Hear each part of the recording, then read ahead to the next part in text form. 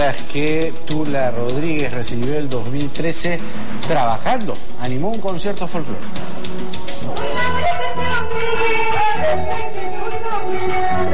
De esta manera, la ex bailarina Tula Rodríguez recibió el 2013, animando el concierto de una conocida cantante folclórica. Mi primer año casada, él se queda cuidando a la bebé y yo trabajo. ¿Te parece que de repente le puedan decir a Javier que es un pisado?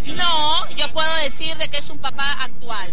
Los papás actuales tienen que ayudar a la esposa cuando ella sale a trabajar.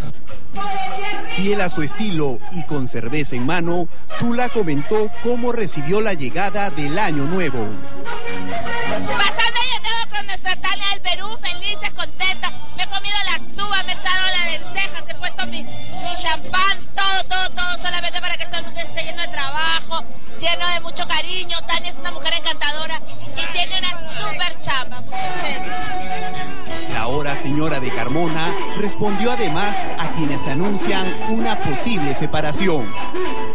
Estas mismas brujas hablaron al inicio que mi relación no iba, que no nos amábamos, que no terminaba bien. Ahora dice que te vas a separar. La verdad, yo solamente creo en Dios, no creo en nada más que no sea el de arriba. Ante esta situación, la ex conductora de televisión recibió un singular regalito, que además no dudó en ponérselo.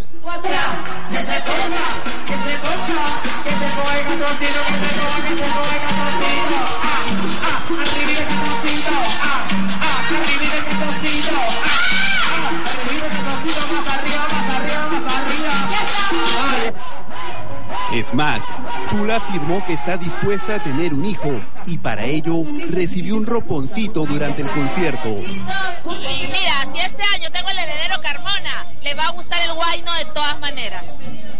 Ay, si Dios me lo manda, yo feliz. Y si no, ya estoy feliz con Valentina. Tula Rodríguez no duda que este 2013 será su año.